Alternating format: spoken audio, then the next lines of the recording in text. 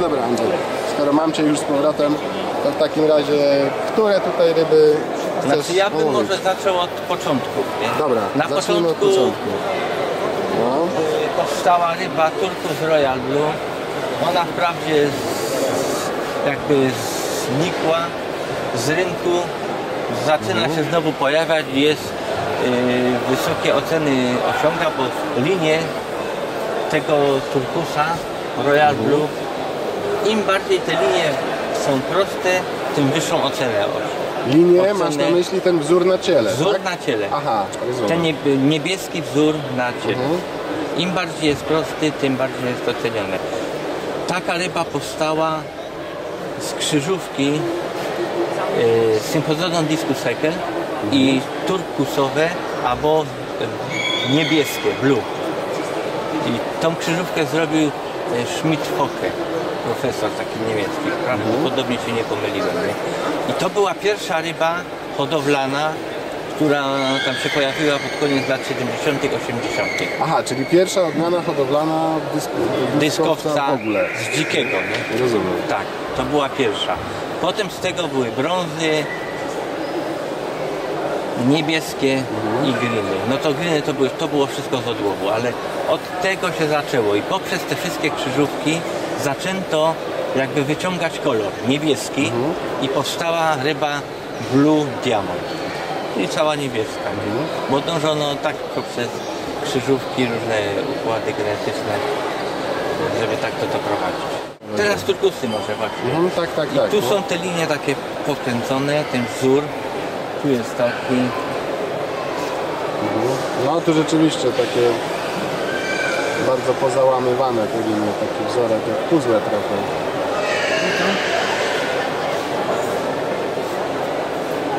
To też jest turkus, tak? To też jest turkus. Już, już prostsze ma.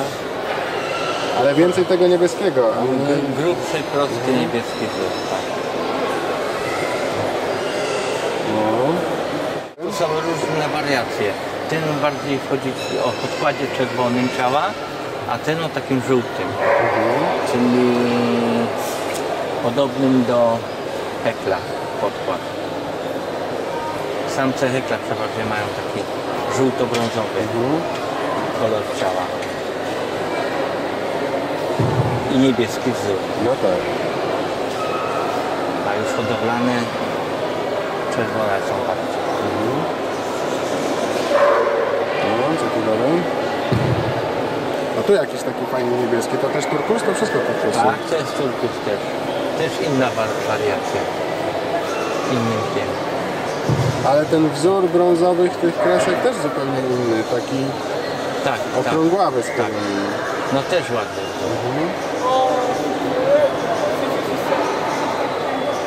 No bo w, e, podczas krzyżówek i, i krzyży nigdy nie można przewidzieć co wyjdzie na A co wyjdzie? No tak. To jest takie nieprzewidywalne i to może dlatego jest tak ciekawe. nie? I ludzie, tu jest taki drugi o podkładzie czerwonym. O, ten jest też ładny. No i wielka to ryba. Tak, to jest duży.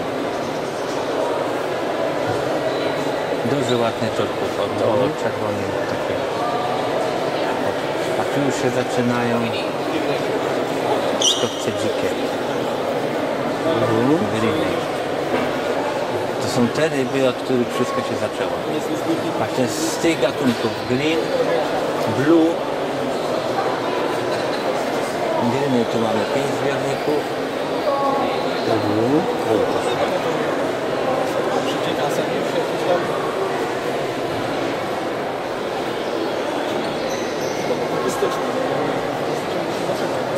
mówisz. tu jest blue. Aha, i to, jest, to, też, Niebieska. to też jest dziki? To jest dziki. I właśnie z tej krzyżówki Heckel Blue Aha. powstał Royal Blue. Rozumiem.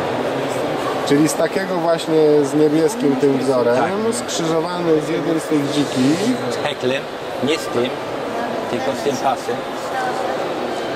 którym z pasem? Ten, który ja mam na Aha, u Ciebie tam na tym, na molo. Dobra, rozmnożone, rozumiem. ale one tu będą w dalszej kolejności, to pokażemy. Właśnie tu te linie są proste i u dyskowca Heckla tak samo. Tu jest też ładnie widać na tym. Mhm. I one takie sobie żyją w naturze, tak właśnie To są z ryby, takim tak, niebieskim od łowu. kapitanem.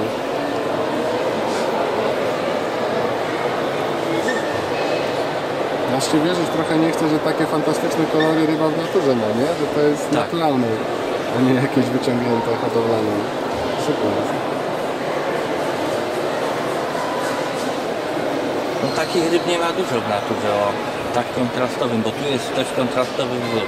Mhm. Ładny. Poprzednio był rozmazany, taki mało widoczny. A takie ryby są takie bardzo jakby to powiedzieć e, o, wysokie ceny osiągają na Mhm. rynku. No. I tu mamy odmianę już brązową.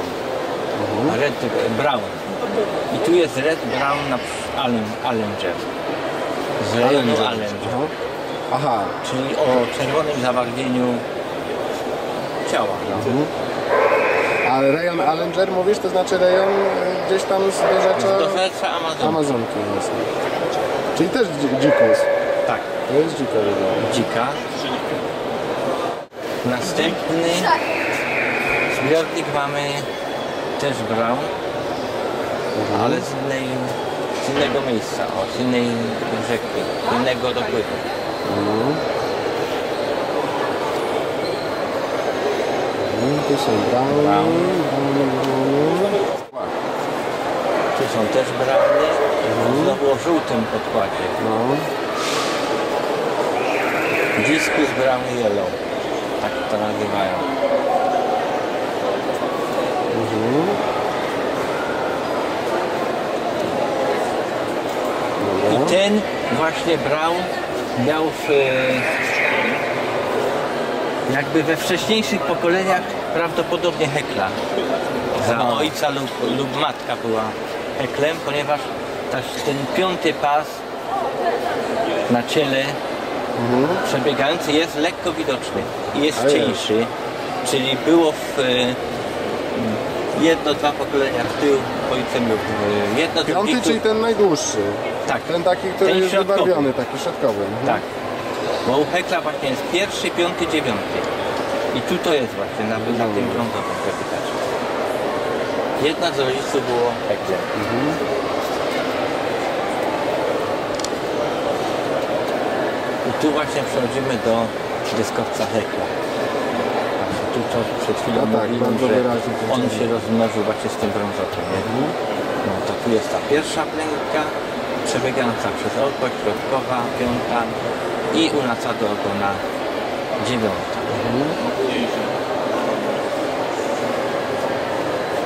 A które z tych są twoje? No, mój jest w zbiorniku numer jeden. Aha, czyli na początku.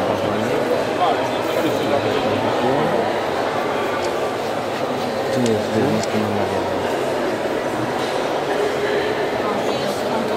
Ale chyba też intensywność tego czarnego paska zmieniają na bieżąco, nie? Bo ja mam Tak, wrażenie, tak, że one tak, jest- tak, czasem są takie troszkę jaśniejsze, czasem ciemniejsze. Tak, od samopoczucia ryby. No tak. Może od parametru wody częściowo.